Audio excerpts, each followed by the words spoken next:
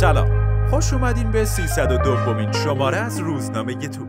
امروز شنبه 13 آبان ماه. به رسم همیشگی خبرهای مهم روز فوتبال ایران رو کنار هم مرور می‌کنیم.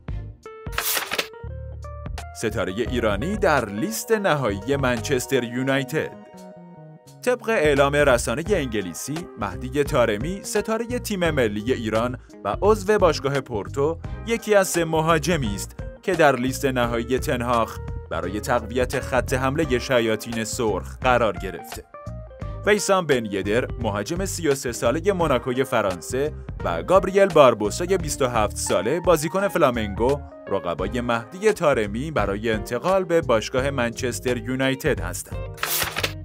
چراغ سبز مهاجم هلندی به قرمزها لوکادیا در آستانه بازگشت به پرسپولیس بعد از جدایی و فسخ قرارداد یک طرفه لوکادیا با پرسپولیس این باشگاه از این بازیکن شکایت و اونو محکوم کرد بعد از محکوم شدن لوکادیا توسط فیفا زمزمه هایی مبنی بر بازگشت این بازیکن به پرسپولیس شنیده شد و حتی یحیی گل محمدی در نشست خبری اخیر خود هم درباره این بازیکن صحبت کرد.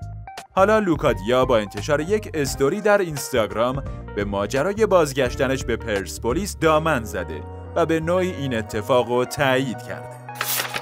دردسر جدید یحیی در آستانه بازی با استقلال مدافع راست پرسپولیس هم به جمع بازیکنای اضافه شد که به دلیل سرماخوردگی احتمالاً بازی با استقلال تاجیکستان را از دست بدن. در شرایطی که پیش از بازی مقابل نفت آبادان مهدی ترابی به علت سرماخوردگی این جدال را از دست داده بود اکنون دانیال اسماعیلی فر هم دچار این بیماری شده و باید دید وضعیت این بازیکن به چه شکل خواهد بود. ورود شیمبا به جمع ستایی های لیگ. و پریرا در دیدار مصر افسنجان با فولاد خوزستان خوش درخشید و دروازه تیم سابق خودش رو دوبار باز کرد تا چهارمین بازیکنی باشه که در لیگ برتر به آمار 100 گل زده می‌رسه. قبل از پریرا فقط رضا عنایتی، آرش برهانی و مهدی رجبزاده به تعداد گل سرقمی رسیده بودند. پریرا تنها بازیکن خارجی لیگ برتره که به این تعداد گل زده می‌رسه.